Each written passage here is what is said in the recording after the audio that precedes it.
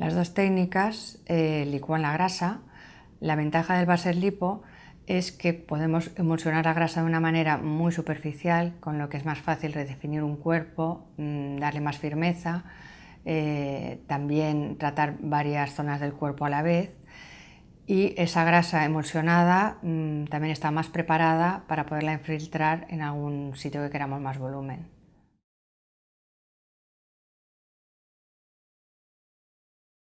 Lo más importante primero es el marcaje del paciente, con él de pie y hablándolo con él, mm, marcando las zonas que queremos redefinir, las que queremos aumentar de volumen, eh, que quede muy claro cómo el paciente quiere conseguir el cuerpo deseado. Una vez eh, hecho el marcaje, pasaremos a anestesia, que puede ser con local, con localización o con anestesia general, dependiendo de las zonas a tratar y una vez dormido el paciente pasaremos a infiltrar,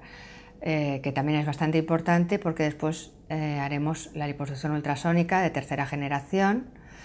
que es una técnica con la que se puede conseguir redefinir y hacer una emulsión de la grasa que con ninguna otra técnica se podría conseguir muy superficialmente,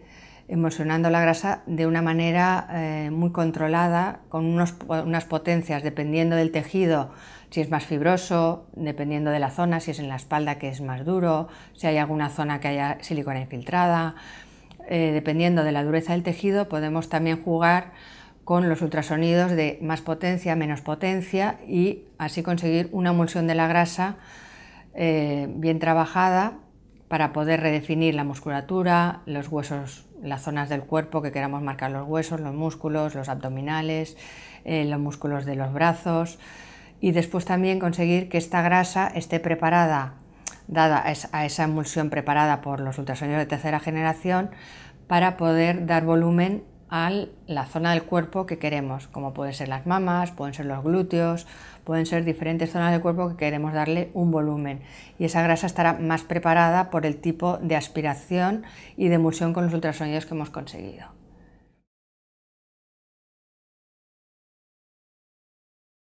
Bueno, al finalizar la intervención se coloca un vendaje compresivo con unas espumas y una faja para comprimir la cirugía.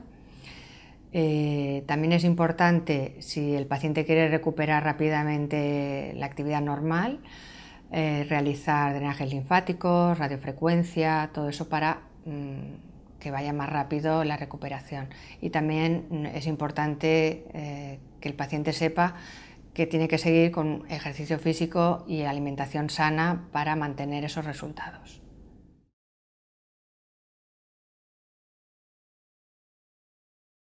Bueno, con esta técnica podemos conseguir una redefinición del cuerpo mucho mejor que con la tradicional, al conseguir mm, emulsionar la grasa más superficial, podemos redefinir mejor el cuerpo, voluminizar con una grasa mucho más preparada para ello